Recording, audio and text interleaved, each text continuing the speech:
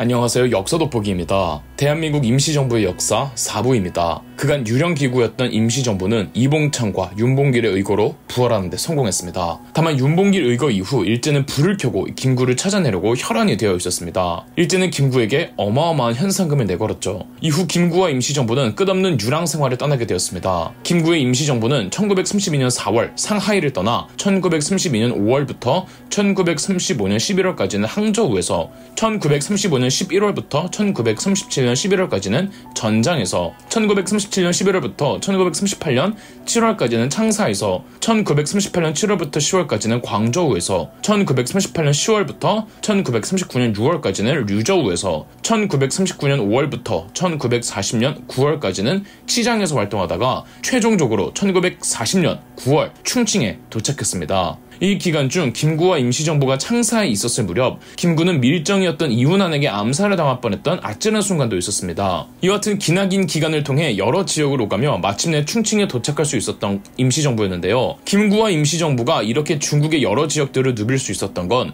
중국 국민당 정부를 이끌던 장제스의 도움이 있었던 덕분이었습니다. 당시 중국은 중일전쟁 도중이었는데 수도 난징을 빼앗긴 중국은 충칭을 새로운 수도로 삼고 항일에 나선 와중이었고 그런 충칭에 임시정부가 최종적으로 안착할 수 있도록 장제수도 김구와 임시정부를 도왔던 거죠. 이 당시 김구와 안중근의 동생이었던 안공근 사이에 미스테리한 일이 발생하는데요. 안공근은 임시정부 소속으로 주로 러시아를 오가며 자금 조달을 도맡았으며 임시정부가 위기 상황일 때 김구와 함께 한인 애국단을 조직해 이봉창 윤봉길 의사들의 의거를 지원하였습니다. 한때 김구의 참모라고도 불렸지만 후반기에 독립 자금을 사적으로 사용했다는 의혹에 김구는 안공근을 멀리하기 시작했는데 요. 무엇보다 중일 전쟁이 한창이던 와중 김구는 안중근의 가족을 보호해주고 있었지만 상황이 여의치 못하자 안공근에게 안중근의 가족을 부탁했는데 안공근이 제대로 돌봐주지 않으면서 김구와 더더욱 사이가 멀어졌다고 합니다. 대한민국 임시정부가 충칭으로 이등했을 때였던 1939년 안공근은 실종되었고 아직까지도 죽음의 의문이 풀리지 않았죠. 실종 전 안공근이 마지막으로 만났던 사람이 하필 상하이에 있던 김구의 주치였던지라 각종 음모론만 무성이 생겨났죠. 州。 김구의 임시정부가 화려하게 부활하고 충칭의 자리를 잡자 중국 내 민족주의 진영의 독립운동가들이 대거 임시정부가 있는 충칭으로 모여들기 시작했습니다. 당시 독립운동가들 사이에서 가장 큰 문제는 좌우익의 이념 대립이었습니다. 이념 대립이 워낙 극심했던 만큼 일제라는 공공의 적 앞에 민족끼리 힘을 합쳐야 한다는 여론 하에 좌우 합적의 민족 유일당 운동이 전개되었고 1935년 7월 중국 난징에서 한국 독립당, 조선혁명당, 의열단, 신한독립당, 미주한인독립당 5개 당이 모여 민족혁명당을 결성했습니다. 하지만 민족혁명당은 역시나 오래가지 못했죠. 민족혁명당이 조직되었을 때 잠시나마 이념 대립이 잦아들었다고 생각했지만 민족혁명당 내에서 김원봉 등의 아나키스트 그리고 좌경화된 사회주의자들이 민족혁명당을 장악하자 민족주의 진영에서 반발하며 이념 대립이 다시 격렬해졌던 거죠. 심지어 아나키스트의 대장인 김원봉이 민족주의 진영의 대장격이었던 지청천을 제명해버리는 사건까지 터지면서 분노한 조소왕, 김규식, 신익희 등의 우익 민족주의자들이 민족혁명당을 대거 이탈해버리고 충칭했던 김구의 임시정부를 합류했습니다. 이렇게 우익 민족주의 진영이 충칭으로 들어와 김구의 임시정부에 합류하면서 임시정부가 점점 커지자 김구는 대한민국 임시정부 직속의 유일 여당을 창당하니 이 정당이 바로 한국 독립당이었습니다. 아울러 김구는 임시정부의 주석으로 취임하였 죠. 1940년 9월 17일 대한민국 임시정부는 한국 독립당 산하부대인 한국 광복군을 창설했습니다. 창설 과정에서 중국 국민당의 적극적인 도움을 받았는데 장제스와 우호적 관계를 맺고 있던 김구의 역할이 컸죠. 한국 광복군 총사령관은 지청천이었습니다. 다음은 당시 상황을 회고하는 김구의 백범일지 기록입니다. 중국이 일본과 5년간 전쟁하는 동안 우리는 군대조차 조직하지 못하였다. 이 사실이 너무나 원통하여 한국 광복군 조직 계획안을 작성하고 광복군 결성이 3천만 한족을 총동원하는 이름을 설명하여 장제스 장군에게 보냈다. 그러자 광복군 계획을 흔쾌히 허락한다는 회신이 바로 도착하였다.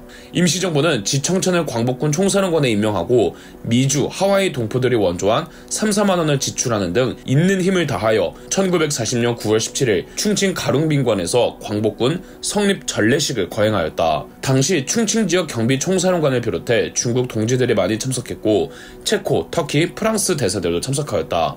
외국인 연회로서는 눈에 띄게 성황을 이루었고 연합국 신문 기자들도 참석하여 광복군 성립 소식이 여러 나라에 널리 알려지게 되었다. 대한민국 임시정부의 유일 여당으로서 한국 독립당은 독립 전쟁을 준비하면서 임시정부가 아닌 공식 정부를 수립하기 위한 정책에도 힘을 쓰고 있었습니다. 1941년 11월 외무부 부장이었던 조소왕은 삼균주의에 입각한 건국 강령을 반포했습니다. 삼균주의란 정치, 경제, 교육 세 분야에서의 평등을 의미하는데요. 대한민국 임시정부 건국 강령 제1장을 읽어드리면 아래와 같습니다. 우리나라는 우리 민족이 반만년 이래로 공통한 말과 글과 국토와 주권과 경제와 문화를 가지고 공통한 민족 정기를 하나의 민족으로서 형성하고 단결한 고정적 집단의 최고 조직이다. 우리나라의 건국 정신은 삼균 제도의 역사적 근거를 두었으니 선민의 명명한 바 수미균평이 하면 홍방보 태평이라 하였다.